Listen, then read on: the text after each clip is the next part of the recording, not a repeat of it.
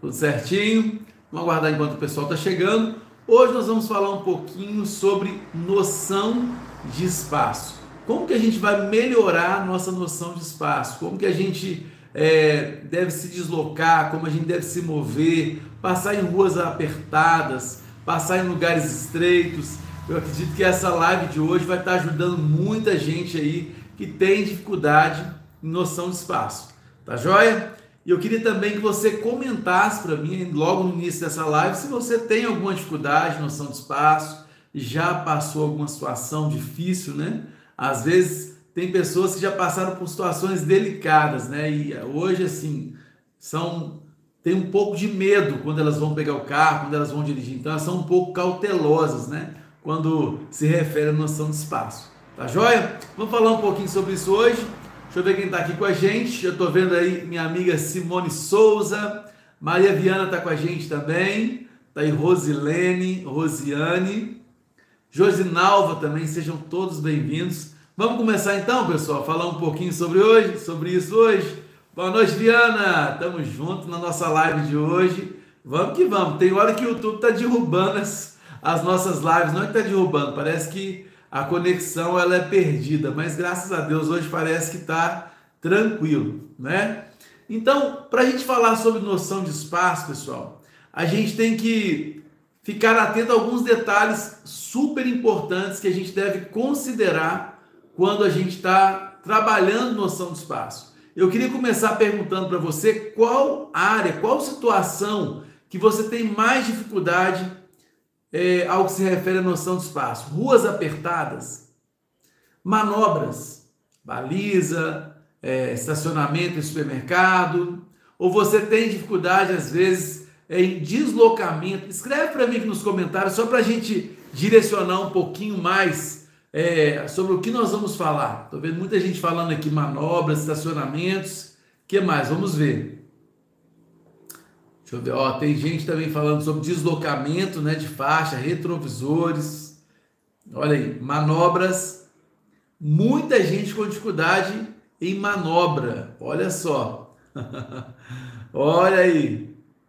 Vamos falar um pouquinho. Ruas estreitas, Aline. Beleza. Então vamos começar então, pessoal.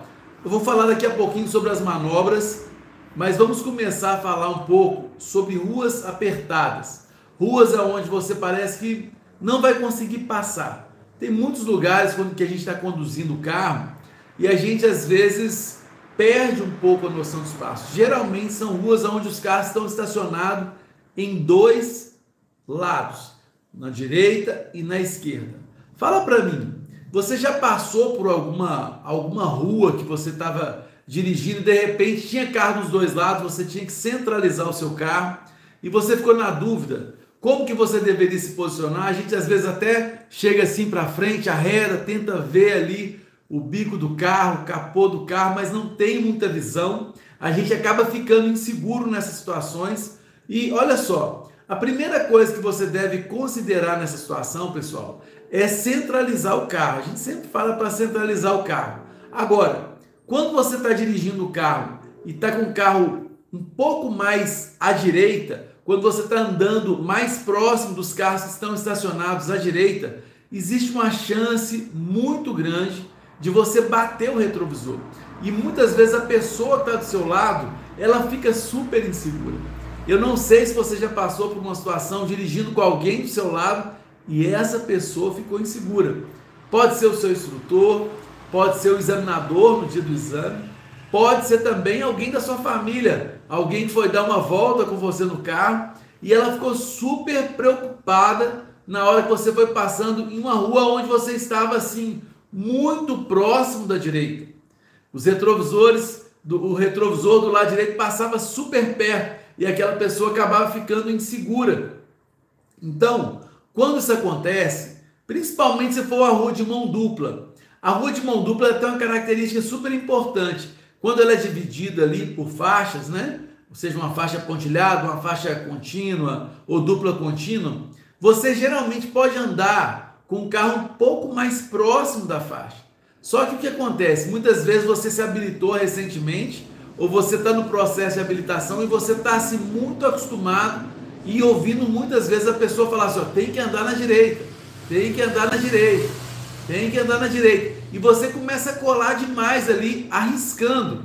Não é que você deve andar afastado da direita, mas tem que tomar um certo cuidado, por quê? Andar muito colado na direita também, você pode assustar o examinador e até perder o seu exame por causa disso. Ele pode ó, colocar a mão no seu volante ali, né, tentar afastar o carro, e isso pode prejudicar. Então, qual o conselho nessa situação?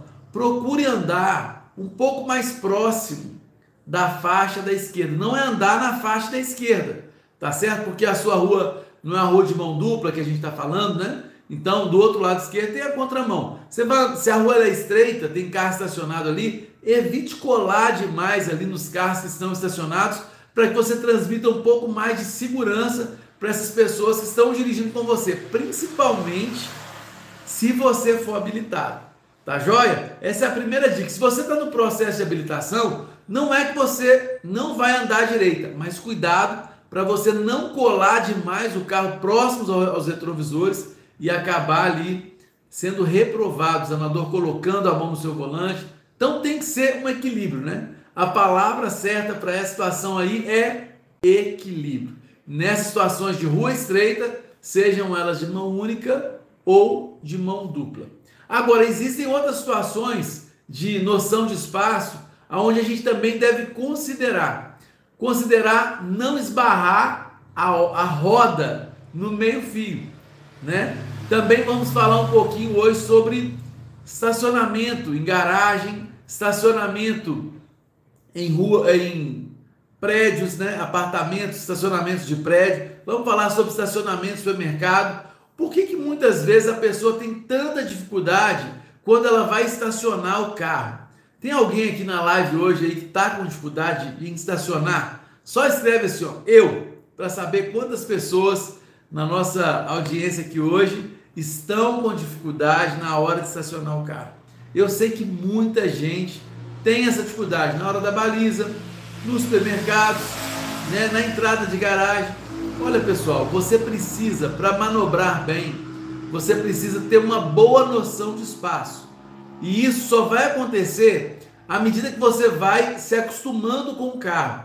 Muitas pessoas pegam um carro poucas vezes na semana, não sei se é o seu caso, mas pessoas que pegam um carro, por exemplo, uma vez por semana, duas vezes por semana, não roda com o carro direto.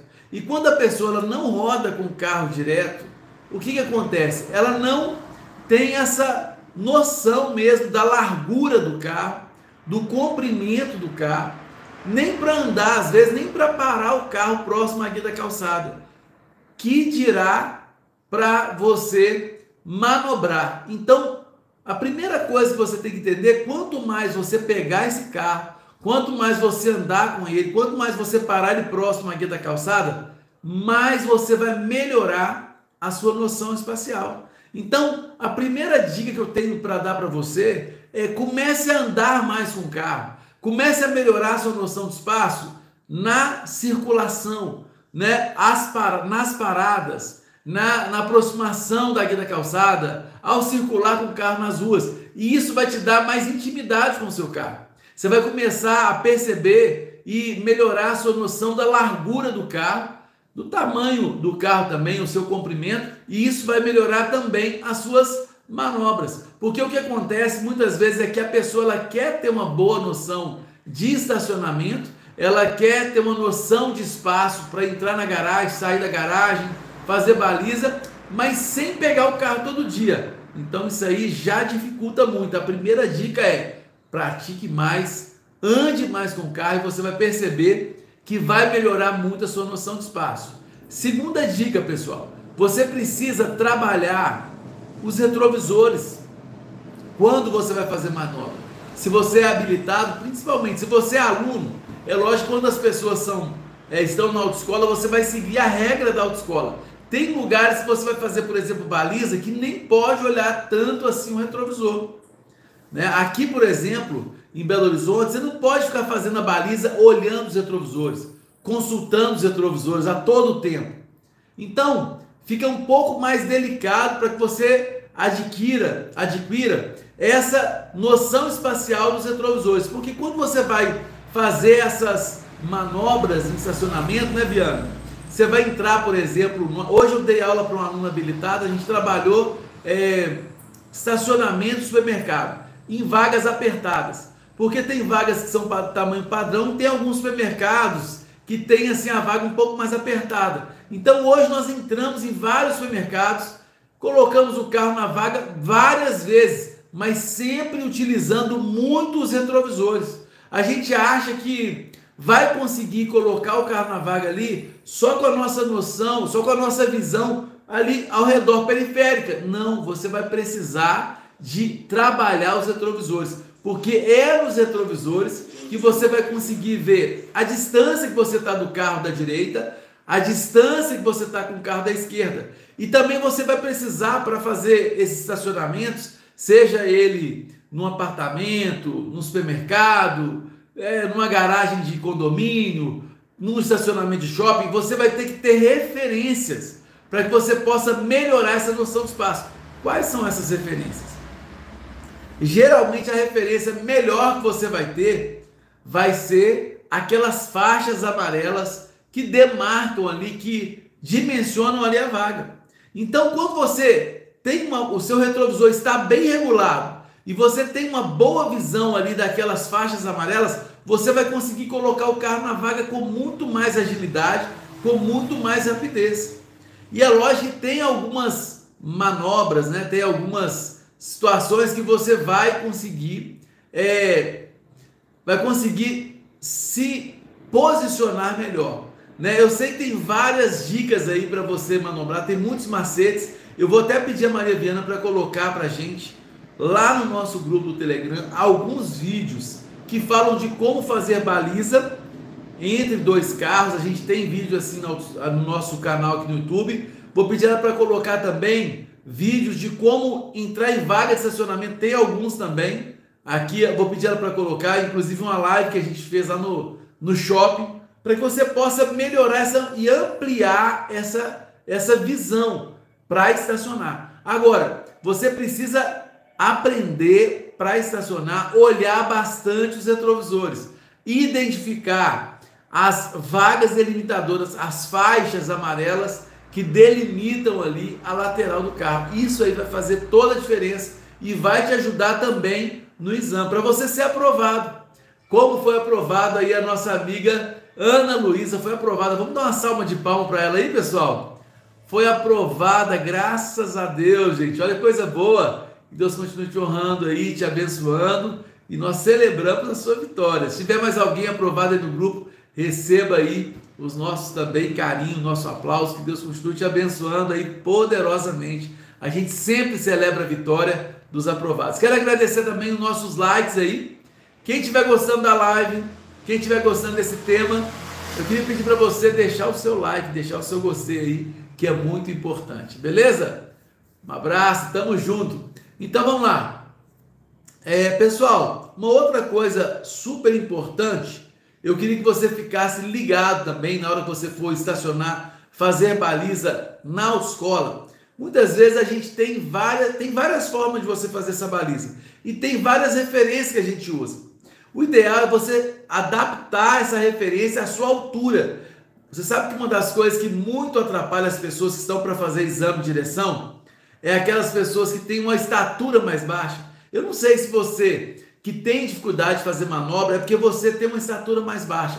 As pessoas que têm uma estatura mais alta, ela tem uma facilidade muito grande para ter a visão né, dos cones traseiro, traseiros, para ter a visão das referências que ficam nos vidros, para ter a visão às vezes da lateral aqui. Então, pessoal, se você é uma pessoa que é um pouco mais baixinho, é um pouco mais compacta, né? Aquela pessoa que não tem tanta altura, você vai perceber que na hora de fazer as manobras, a gente pena um pouco mais. É lógico que todas as é, adaptações, elas são possíveis, mas quando você é uma pessoa mais alta, você tem que agradecer muito a Deus, que isso aí facilita demais na hora de fazer as manobras. Então, para que você passe balizas é, mais corretas, balizas com uma boa noção de espaço, primeira coisa, tente fazer essas balizas com a, com a velocidade um pouco menor. quanto mais devagar você fazer essas balizas, mais você vai ter uma melhor noção de espaço. É lógico, pessoal, é lógico que você não vai fazer muito devagar, muito devagar. Por quê? Você tem um tempo ali que você tem que cumprir. Mas cuidado para você não correr. Isso aí atrapalha demais, tá bom? Agora, segunda coisa, além de fazer com a velocidade menor, não mude a referência no dia do exame. Uma coisa que atrapalha muito é aquelas pessoas que treinam, treinam, treinam e elas acabam decorando ali as referências né, para fazer a baliza mais rápido. Para que, que você decora essas referências? Porque existem estados que não pode olhar retrovisor, então você tem que ter referência, não vai poder fazer a baliza usando retrovisor.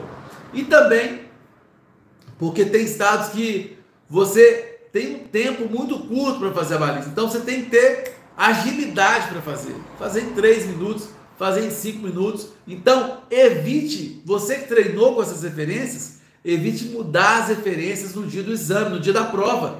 Isso também vai fazer com que você faça balizas corretas, tenha uma chance ampliada para é, fazer balizas no tempo hábil para passar na sua prova. Agora, se você não estiver, ah, Ricardo, eu não estou adaptando a essas referências, aí você pode recorrer a vídeos na internet, conversar com o seu instrutor, explica ele, fala assim, eu sou um pouco mais baixa, tem alguma forma de eu melhorar as minhas balizas, fazer a baliza um pouco mais rápido? Muitas vezes ele vai sugerir para você aí, você usar às vezes uma almofada Gente, não tem nada a ver. Eu tenho vários alunos, alunos e alunas, né, que já usaram a almofada no dia do exame e conseguiram passar. Ah, pessoal, o importante é você passar. Agora, tem pessoas que não precisam. Se a pessoa for muito baixa mesmo, de repente vale a pena ela fazer um teste. Se ela vê que está incomodando, se ela vê que está mais atrapalhando do que ajudando, aí você não vai usar essas almofadas. Mas se você perceber que elas estão ajudando, por que não usar? não é? Então, às vezes, a falta de noção de espaço, você precisa tomar cuidado, beleza? Tamo junto nisso aí e você vai ficar muito ligado, tá bom? Vai ficar muito ligado nesse detalhe aí. Fechado? A William tá falando para mandar um abraço para a tia Chica dele. Um abraço. Forte abraço aí, a tia Chica. Deus abençoe a sua vida. Tá joia? Então vamos lá, pessoal. Continuando. Aqui, olha, tem uma pessoa falando aqui, ó, eu usei sempre, mas fui fazer um exame e o instrutor proibiu de usar. Meu Deus, aí é complicado, hein? Aqui em Minas Gerais, tem que olhar se o seu estado aí tem alguma proibição. Aqui em Minas Gerais não tem. Então, aqui em Minas Gerais, as pessoas que são de baixa estatura, elas podem usar sim é, para melhorar essa noção de espaço. Então, para melhorar a noção de espaço, a gente tem que fazer a baliza mais devagar evitar mudar as referências.